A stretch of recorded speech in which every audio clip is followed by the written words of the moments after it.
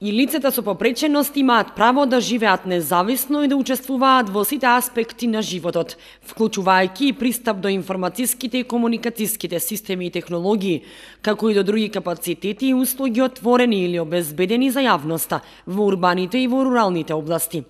Локалните институции треба да создадат услови за своите сограѓани од таа категорија да имаат достапност на општинските веб страни со соодветна интерпретација на знаковен јазик или pełna transkrypcja.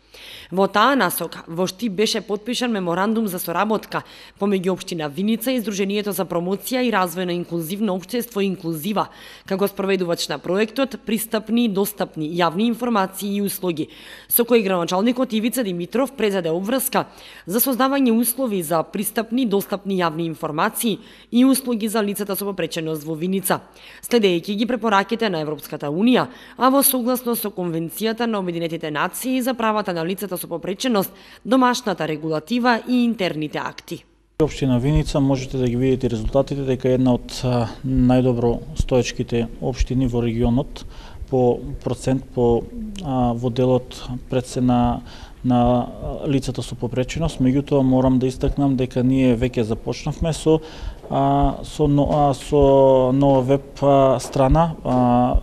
мислам дека до крајот на, на годината ќе биде готова, така да вклучени се и лицата со попреченост, се со цел за да можат подобро и поефикасно да ги добиват информациите што е оно што случува во нашата општина. Како проблем во нашата држава а, непристап, физичката непристапност на објектите на институциите, а непристапноста на информациите кои ги добиваат лицата со попреченост и остануваат без да ги остварат своите права. А, сметаме дека физичката пристапност не може брзо да се отстрани, бидејќи тоа се стари објекти и подолго време ќе трае адаптацијата, а веб страниците можат да се адаптираат за да бидат пристапни и достапни, за да оваа категорија на граѓани, како сите други, оствари пристап до права. Обштините имаат должност да даваат услуги на граѓаните, исто така исто право имаат и граѓаните со попреченост, но за жал во овој момент не може да ги добијат. Инаку правичната анализа на општинските веб страни покажала дека општините се уште имаат многу недостатоци во тој дел. Во голем дел од веб страниците забележавме дека нема јавно истакнато податоци за контакт лица, кое што е задолжено за информации од јавен карактер како и голем дел од информациите кои што се јавни треба не се достапни на самите веб страници. Во однос на содржина исто така забележавме дека во голем процент, некаде над 80%, веб страниците не содржат видео материјали кои што ги објаснуваат содржините кои што се на самата веб страница. Тоа ги прави секако недостапни за лицата со со попреченост. Исто така нема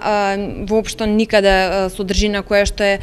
пристапна за лицата со попреченост во слухот. Лицата со интелектуална попреченост увидовме дека најмногу имаат проблем во ориентација во, во веб страните. Во рамките на овој проект, Сдруженијето Инклузива има задача да реализира истражување и анализа на веб страните за лица со попреченост на сите 11 општини со кои има подпишано меморандум, да реализира три работилници, при што најмалку 30 лица од општинските администрации ќе бидат опремени со вештини за соодветен пристап и комуникација со лица со попреченост во процесот на давање услуги и информации од јавен карактер и да врши мониторинг на имплементација на веб стандардите на веб страниците на општините од Истокот.